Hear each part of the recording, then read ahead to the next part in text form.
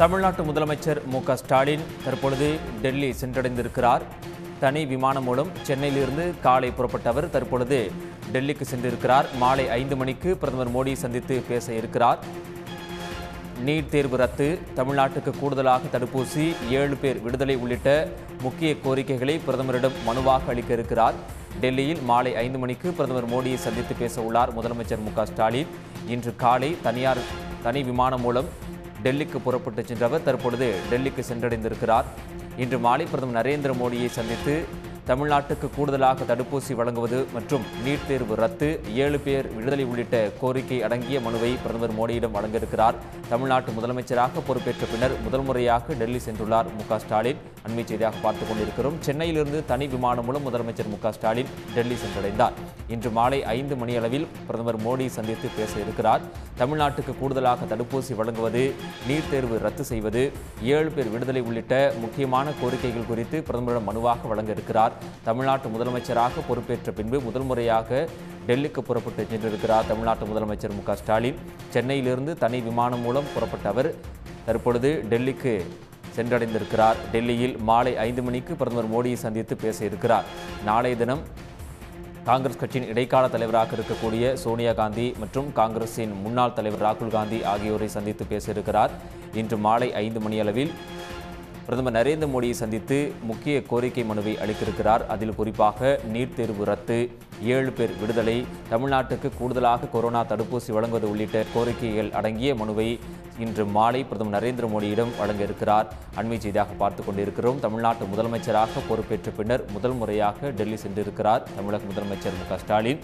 தமிழ்நாட்டுக்கு கூடுதல் தடுப்பூசி வழங்க பிரதமர் மோடியை முதலமைச்சர் மு ஸ்டாலின் வலியுறுத்துவார் என தகவல் வெளியாகி இருக்கிறது அண்மை செய்தியாக பார்த்து கொண்டிருக்கிறோம். தமிழ்நாட்டு வளர்ச்சி திட்டங்கள் தொடர்பாக பிரதமர் மோடியிடம் முதலமைச்சர் மனு அளிக்க இருக்கிறார். கூடுதல் விவரங்களை வழங்குவதற்காக செய்தியாளர் ராமகிருஷ்ணன் இணைப்பில் இருக்கிறார். அவருடன் பேசலாம். ராமகிருஷ்ணன் விவரம் என்ன?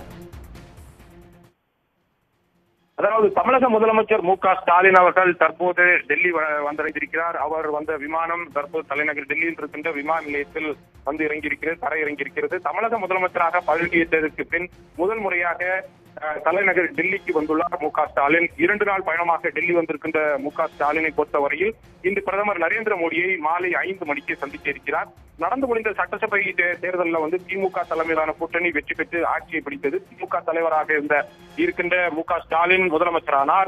முதலமைச்சர் பதவியேற்று கடந்த மே மாதம் ஏழாம் தேதி முதலமைச்சராக பதவியேற்றார். இன்று தமிழக முதல முதலமைச்சராக மு க ஸ்டாலின் பதவியேற்று நாற்பத்தி இரண்டு நாட்கள் ஆகிறது.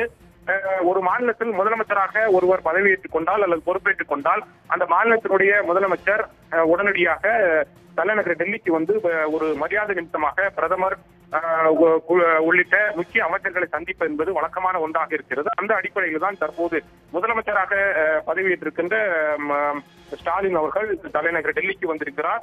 அஹ், ஒரு நாற்பத்தி இரண்டு நாட்கள் இன்றைக்கு ஆகிறது. இதுவரை தலைநகர் டெல்லிக்கு மு க ஸ்டாலின் வராததற்கு காரணம் கொரோனா தொற்று தொற்றின் காரணமாக தடை நூற்றி நாற்பத்தி நான்கு தடை போன்ற உத்தரவுகள் எல்லாம் இருந்ததன் காரணமாகத்தான் மு க ஸ்டாலின் தலைநகர் டெல்லிக்கு வந்து பிரதமர் நரேந்திர மோடியை பார்ப்பதில் காலதாமதம் ஏற்பட்டது.